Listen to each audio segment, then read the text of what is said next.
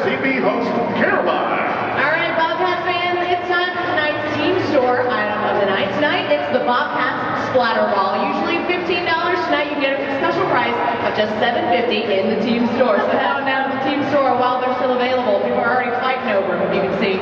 You can check out tonight's team store item of the night, along with all the other Bobcats items, including the exclusive Jordan brand Bobcats gear. Check out the team store on the plaza